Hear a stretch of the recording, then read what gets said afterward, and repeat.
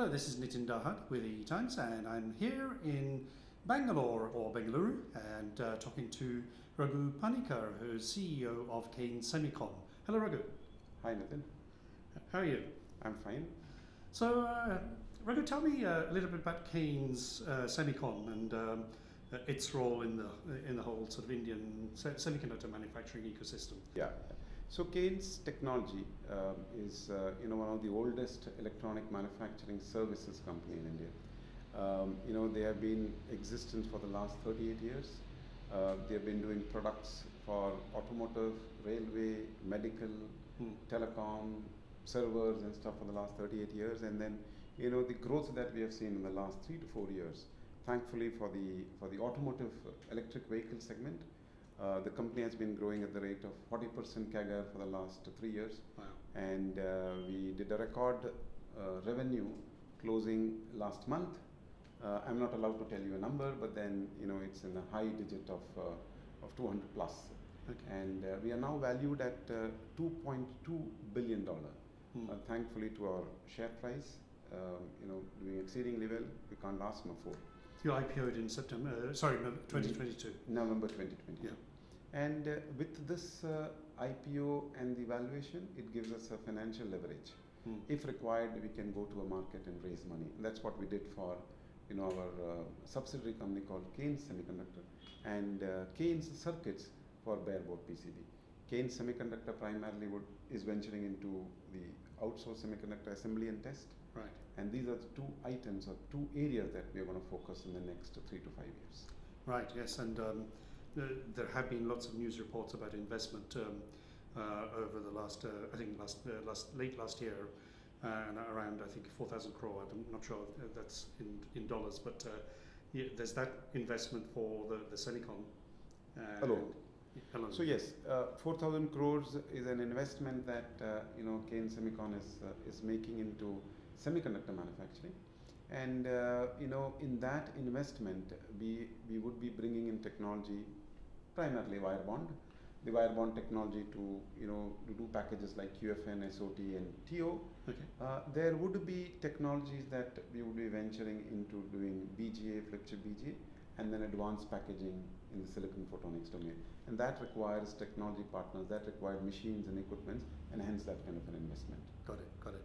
Um, we, we talk about India and the emergence of semiconductors, and you know, because it's globally in the news because of all kinds of issues over the last few years around supply chain and where else apart from uh, one one source. Um, but actually, uh, you gave me quite an interesting history uh, in our pre-conversation about uh, how you know it all started around '83 uh, with with one person, but another person as well. Yeah, just give us a, a little bit of a, that potted history because yeah, people might think India is in semiconductors now, but it's been there for a while. It's always tough to uh, you know draw down the history of uh, 35, 40 years in in a couple of minutes, but I will Yeah. still attempt to do that. Yeah. Uh, two gentlemen which uh, which we owe in India. Uh, to one is uh, an Indian who came out of uh, TIFR, a gentleman named Dr. M.J. Zarabi. Yes. He was interested to put up semiconductor fab in India way back in 1980s. While he succeeded in putting a fab, uh, the subsequent governments did not invest further to keep that fab running and modernize it and upgrade it. It is in a state at which it- is now, and I'm sure the current government is looking to put that as a semiconductor research park with good amount of investment coming. So that's Right. Dr. Zarabi's vision of setting that up uh, Yeah. under the Department of Electronics. Around the same time, another gentleman named Dr. Wally Rhines, who was the TI Semiconductor CEO, set up establishment in India Yeah. in 1980 and then grew TI in India, Texas Instrument in India. So these two gentlemen are the people who you know drove semiconductor into India, and then you know the rest is history of of we being the world's number one semiconductor design uh, centers in India. You name the top 25 semiconductor designs, all are present in India from a multinational standpoint. Yeah. The, the sad part is that all the IPs are designed in India. The IPs don't rest in India, the IPs go outside of India. I'm sure we should find a mechanism to see how these IPs could be registered, how these IPs remain in India. But that's a different story Yeah, altogether. yeah. Um, you know, in the last 30 years, there's been a dream run for semiconductor in India. So people who think about semiconductor has not happened in India, it's a, it's a, It's From a design point of view, I think uh, it's been very strong, and I think it's emerged uh, uh, as a as a key hub, and you know that's why you know Bangalore has uh, ended up being what sometimes people call Silicon Valley of India. Yeah. But um, I, I- think um, in the, the government um, support for this has been stronger in the last few years, and I think there's like a 15 or 20 billion dollar investment now in the la- in the latest uh, you said uh, phase of, of investment uh, of the and the India semiconductor mission. So I think that's ca- kind of where now you come in to help grow that manufacturing, and yeah, we'll talk about skills later, but yeah, that That's- manufacturing. So the kind of uh, investment which uh, the government is doing in the semiconductor manufacturing, you know, even though we are a powerhouse in chip design, um, uh, the government felt that there should be a, uh, you know, we, to be self-sufficient, to to have an ecosystem where you know we are also one of the uh, one of the powerhouses. You know, gone past in the world earlier. If you if you if you owned oil, you are termed to be the richest country. And now oil is the next semiconductor is the next oil or electronics is the next oil. So every country is trying to become self-sufficient in semiconductor. Geopolitical situation is driving it. I'm not naming the country but we all know which country is driving Yeah. all of us good or bad of it. So from that standpoint india as a country has also felt that we need to have our own destiny in our own hand without giving it to somebody else. And hence the semiconductor manufacturing is one thing which we, um, India is bringing in. And semiconductor manufacturing could be silicon fab or the in the ecosystem the OSAT. Both the things have been looked into in an equal way, and that's why you've seen announcement of Tata coming up with a silicon fab, Tata coming with an OSAT, Kaynes Semicon coming with an OSAT, and a few others which is which is going to fall the line. So Hmm. that's the investment which is coming to India. Let's not leave aside the silicon carbide, Yeah. which is a big story for our uh, EV and, and power and stuff like that. Yes. There are a few announcements that you will see uh, from the industry. We know a few names, but you know, let's wait for the government to announce a few silicon carbide fab as well. Right, and um, you're investing heavily into the next wave, which will be HPC, I guess. Tell us, tell me a little bit about that and um, where, where, what we can expect to see from So, um, uh, you know, from from you as a journalist, um, I know the quoting a number um, becomes a headline. Uh, but uh, you know, sometimes let's look beyond the number. Let's look at what market each are addressing.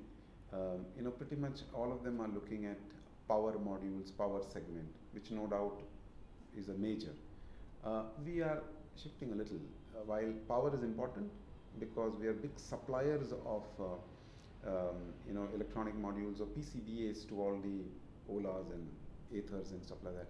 While that would be one area that we'll focus on, the another two areas. One is the HPC, which is nothing but the data center, and that's where we have invested in the last one year. We are doing the high complex servers for CDAC, and taking out of it, we will do certain products for data center market in India, and that's another boom that we feel would happen. Hence, AI-enabled OSAT is something that we are investing. Hence, we are investing in a company called Mixtech, which is going to do products in the silicon photonics and the co-package optics. You know, waveguides and the silicon have to be intermingled, and you have a solution that will come out of it, and that's where Mixtech is going to work on. Another area that we will put an effort is the BGA and flip chip BGA is for certain other application, and hence we are looking at this market.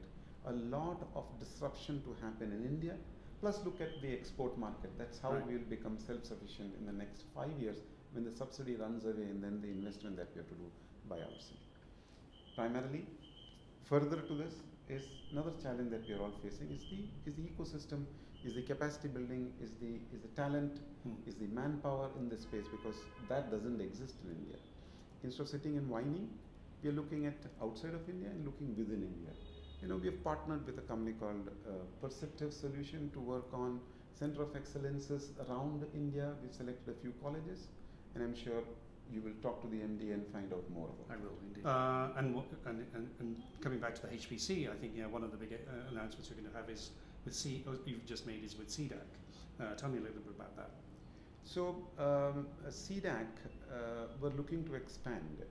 Uh, CDAC, you know, by the sense of it, if you look at the servers that they do, do the all the high-end application, you know, weather forecasting, um, remote diagnostics, um, you know, earthquakes happening in India, and all that needs to be assessed or forewarned happening to be earlier. So they have got huge system. We have, we have read and heard about Param, Super Param, and those computers, right? Yes. Those high-end systems.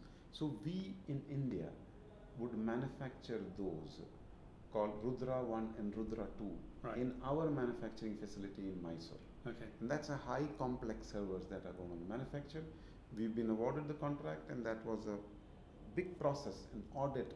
The CDAC guys coming and doing a month long audit of our process, people, our expertise to run manufacturing line, and all that. Now they've qualified us, they have awarded a contract.